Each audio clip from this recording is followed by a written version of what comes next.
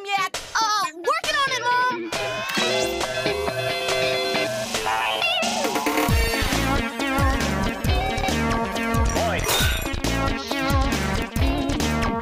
Lloyd?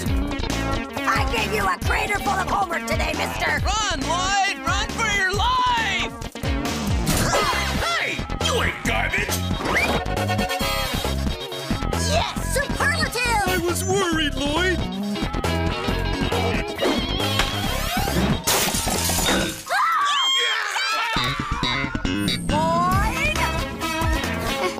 Oops.